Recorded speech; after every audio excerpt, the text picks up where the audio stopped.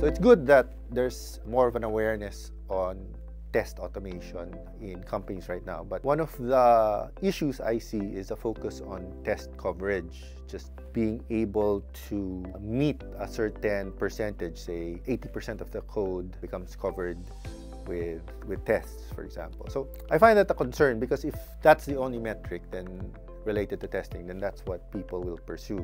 And then there would be a lot of negative behaviors like testing things that aren't risky, right?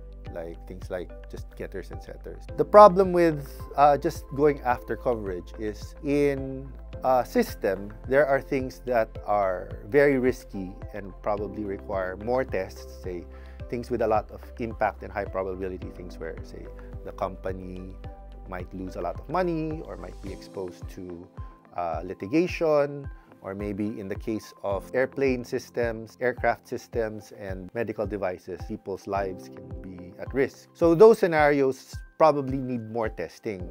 Probably those areas, those hot spots of risk, would probably require more tests and more creative tests rather than just trying to blanket the entire system with tests. Right? So uh, one important concept that we need to uh, consider is the concept of risk-based testing.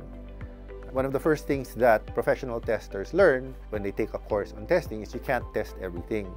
So there needs to be an analysis of where the risk hotspots are in a system and then come up with targeted scenarios to deal with those risks. So it's not so much about blanketing the system with test coverage, but making sure uh, we've mitigated the risk overall to the system. And that probably means focusing on certain hotspots. The other issue with writing a lot of tests, particularly automated tests, is more tests actually make code uh, more difficult to change because when uh, there's a lot of tests and you uh, modify the code under test, it would often break the the associated tests. So tests are, are still code.